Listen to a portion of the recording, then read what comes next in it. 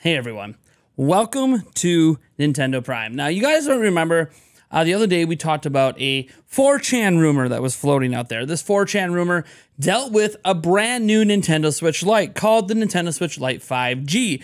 And this post was very well put together and it sounded pretty believable in some regards, even though it sounded like a pretty stupid idea to me. Basically, it would be a, a Switch Lite that costs $50 more, has a bigger screen, essentially getting rid of the bezel, and would let you connect to popular cellular networks. And they mentioned that Nintendo had partnered with uh, Verizon, AT&T, T-Mobile, and then a whole bunch of carriers in other areas as well, such as the UK, Japan, and Australia. And again, it was tinfoil hat time. I literally was wearing this thing. You know, I told you guys it's 4chan. Shouldn't really believe it. Some people actually thought it was a really, really good idea. And the thing is, I find myself at times in a position of privilege. And I don't mean the privilege of look at this amazing equipment and all the things we're able to achieve together because I have a YouTube channel.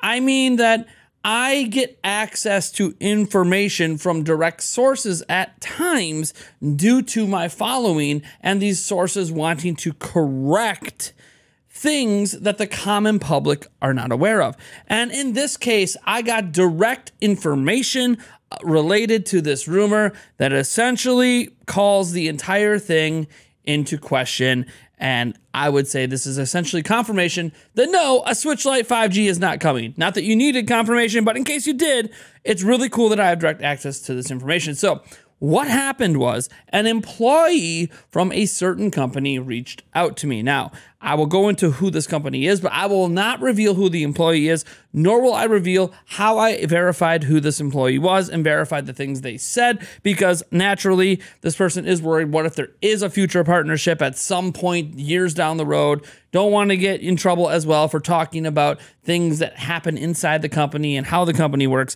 But I can go into some details here, at least, about what specifically debunks this rumor. So, this person does work for T Mobile. Okay. And this person uh, works in a department that deals with eSIM activation. Okay. eSIM activations are essentially the things that are in your phones. Uh, a lot of phones come with built in um, SIM cards, right? They're, they're, they're come with built-in SIM cards. A lot of the devices that are used on the go that aren't phones, like say a tablet, will often have a built-in eSIM. You have a laptop that you take on the go, it often has a built-in eSIM. Now you could still use physical SIM cards, but considering that you already have to put an um, a physical cartridge into a Switch Lite, and you also have to put in a physical uh, you know, micro SD card, it's very highly likely that they would not go this route. The Vita back in the day used an eSIM. So this is extremely common that eSIM is the way to go, and it's really the way of the future. Physical SIM cards are still a thing, right? I got my iPhone 13 Pro Max here. It takes a, it takes a physical SIM card or an eSIM. It could take either or. Same with the uh, Galaxy S22 Ultra here, which I'm switching over to. Uh, right now, both my phones are down, so I don't have any connection to the outside world except what I got on my computer here. But what's interesting though is the information we got here regarding this and explaining how this all works and why this is bullshit. So here is what's happening. Here are the details I can read.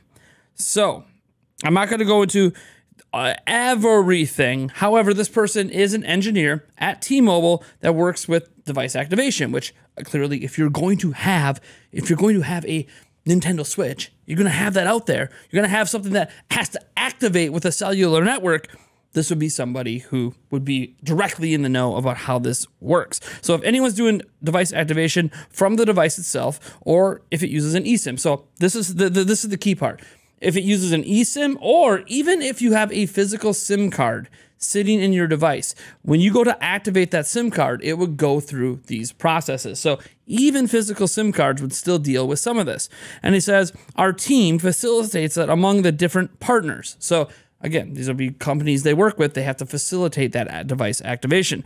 New projects are always at least a full year out once they get to our team. So by the time it gets to their team and they're working on the inner workings of this, the product's a year out. So if it's coming in spring of 2023, they would have already known about it, right? So it's kind of saying, hey, what if it's a time frame thing? No, they would actually already know about it. it. Does know they often actually find out about it before a year, but it's always at least a year. There's nothing that comes out in less than a year that their team doesn't know about that's going to be using SIM card activation.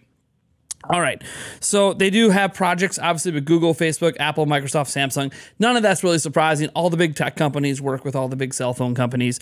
That's not really too surprising. Uh, and there's been zero interaction between T Mobile and Nintendo or the product team. So, you know, people who take the requirements from parties and hand them us hand them to us fully hammered out. So, so the team that hands them the stuff, yeah, they don't they don't really have any, you know, information here either. So it could be possible that they're doing a 5G switch Lite only if it's still using a physical SIM, but then obviously it would have to not be activated through the device, which that would make no sense. I basically mean you activate the SIM like on your phone and then you put it in this. Uh, that that's just that would be absolutely asinine. So I have a doubt, and I do agree that you know some comments I read from you that hey this whole idea is stupid as hell.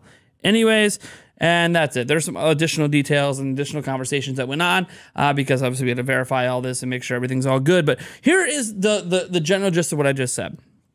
T-Mobile, one of the listed partners for this, has no clue what this rumor is talking about. There is no ongoing partnership to release a 5G Switch Lite or Switch anything or any sort of Nintendo device in the next year. There's nothing happening. Okay. And because there's nothing happening with them, it's highly likely there's nothing happening with Verizon or AT&T and well. And if you guys work at Verizon or AT&T and you are willing to divulge these details to me, you can feel free to reach out. Keep you as private as I can. I have to give a little bit of information to so people know like, hey, like this is where it comes from. These are maybe the departments, so you understand the validity of this. I can't just say, oh, you know, a, a, a, an AT and T employee. Well, I mean, you could just be a salesperson on the floor. You're not going to know shit. So again, it's going to be one of those situations where there's got to be a little bit of background, but I'm not going to give you away.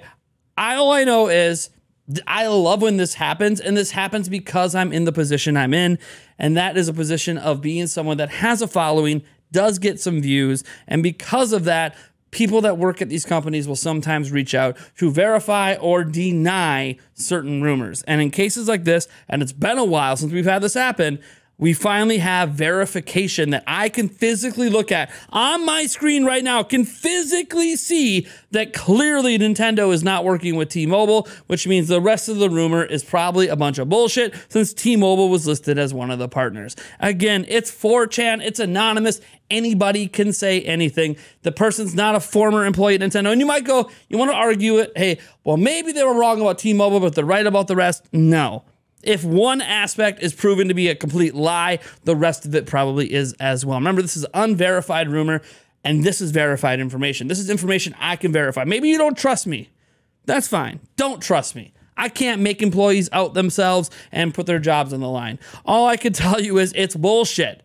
And if you want to come at me for it, come at me, bro. Uh, I can provide a little bit more information, maybe potential screenshots and, uh, and, and, and other potential things if you really need that. I'm trying my best to keep this person as anonymous as possible. It's already bad enough that we could say he works at this company in this department, but the department has, you know, many, many people in it. So, you know, good luck trying to narrow it down. I'm just saying, for the love of all that is holy and all that is integrity.